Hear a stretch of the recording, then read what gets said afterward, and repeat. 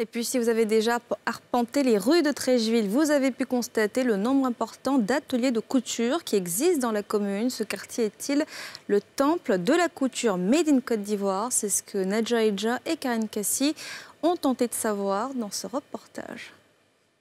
À Trècheville, commune Nzassa, il est presque impossible de circuler dans les rues et avenues sans voir des ateliers de couture, quelquefois alignés, tout le long des avenues.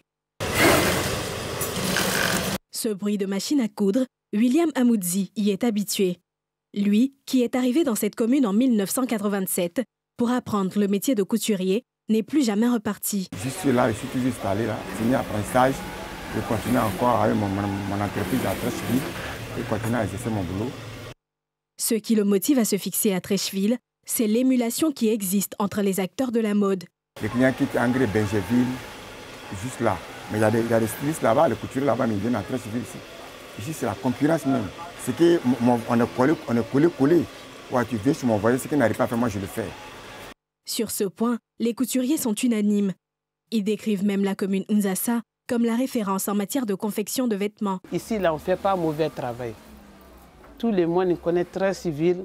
Couture là, c'est meilleur. Si tu n'es pas fort là, il ne faut pas venir à Salé ici pour faire couture. C'est donc à juste titre que Trècheville continue de conserver les plus grands couturiers du pays, à l'instar de Cis Saint-Moïse. Toute sa vie, il aura vécu ici. Son amour pour la couture dure depuis l'enfance. Une histoire de longue date, comme celle qui lie Trècheville à la mode. Trècheville a été l'une des premières communes habitées par les fonctionnaires. Et c'est eux donc euh, qui avaient des vêtements de type occidental dans une certaine mesure.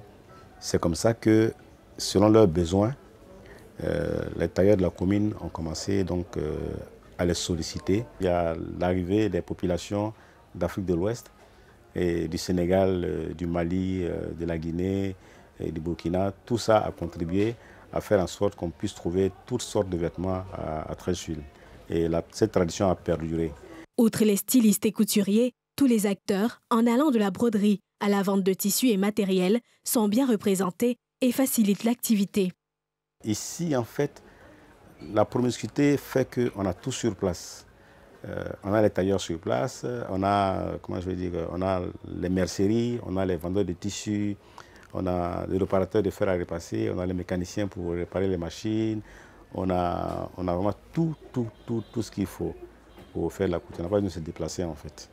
Du potentiel valorisé par ce styliste qui a initié le Unzasa Festival, un festival de mode en pleine rue pour encourager les acteurs de la mode de cette commune et susciter l'intérêt auprès de la population. Après une première édition en 2016 et une deuxième en 2017, la troisième édition devrait se tenir très prochainement.